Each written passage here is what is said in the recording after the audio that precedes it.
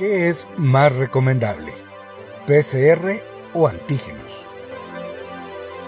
Aunque ambas están autorizadas por la Organización Mundial de la Salud, cada una funciona mejor en ciertos casos.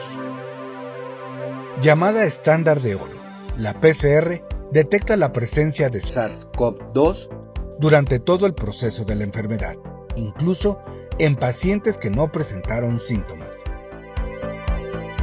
La prueba rápida de antígenos reconoce la presencia de moléculas de COVID-19, especialmente cuando la infección está activa.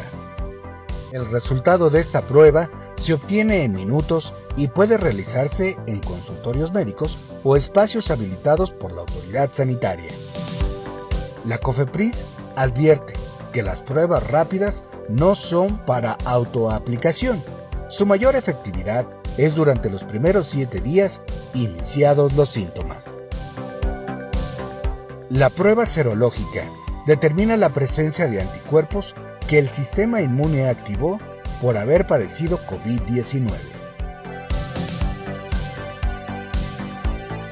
La tarea es cuidarte. Unidos, hagamos la tarea. CENTE, por la educación al servicio del pueblo.